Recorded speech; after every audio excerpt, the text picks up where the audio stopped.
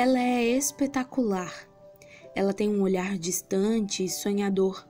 Ela é ousada. Ela nasceu para quebrar barreiras.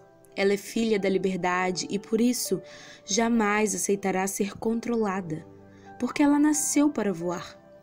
Ela é visionária e sempre atenta ao que acontece em sua volta. E quando ela fala que alguma coisa vai acontecer, pode apostar que sempre acontece. Ela tem uma mente ágil. Alguns, inclusive, a chamam de a mulher do futuro, pois sua mente vive no futuro. Ela carrega com si várias mulheres em uma só.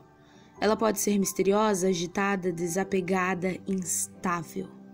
Ela adora novidades, o seu lema é inovar, desenvolver novas ideias. Ela não é para qualquer um, ela é de Aquário.